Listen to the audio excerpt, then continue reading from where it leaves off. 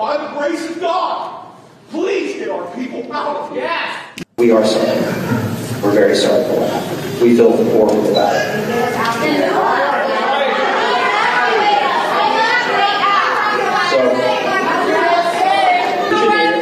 Tell Alan. We're going to do the right thing. We're going to do the right thing.